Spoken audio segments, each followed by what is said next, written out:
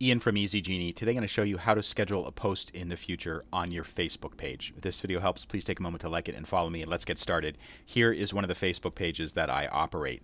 While you can create a post right from the front of it, if you're logged in as an administrator, you can't schedule it in the future from this particular view. What you need to do is you need to go to Creator Studio. Look for it on the left side of the navigation. It says Creator Studio.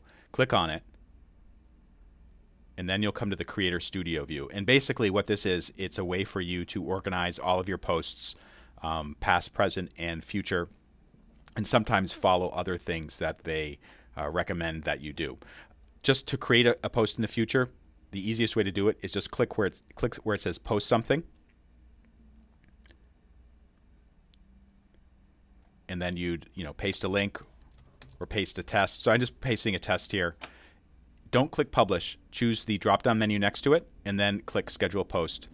And then click this little uh, calendar and then go in the future. So today it is uh, September the 9th. Let's say I wanted to put something out on, on October the 9th.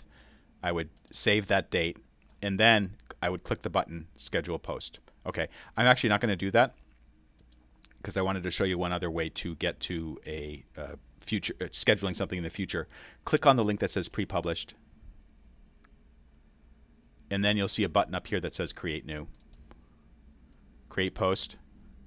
And it's basically the same uh, step that we had before. So I'm going to call this test 2 let's say I'm going to put a little bit of a design on that. You can also ask questions. Oops that's not really a nice one. I don't want to do that one. Let's do this red one instead. It'll take a minute for the preview to load. Okay so let's say I was asking about you know your favorite soccer team. I could put some text there that that asks about it, and then when I'm ready to schedule it in the future, I'd select the drop down menu next to publish, choose schedule post, change the date. So let's say I wanted to put that out on you know December the 9th, or that's November the 9th. Check the time. You can you can adjust this if you want. So I could put this out 1:37 a.m. and then click save, and then I would click schedule post, and it would be published.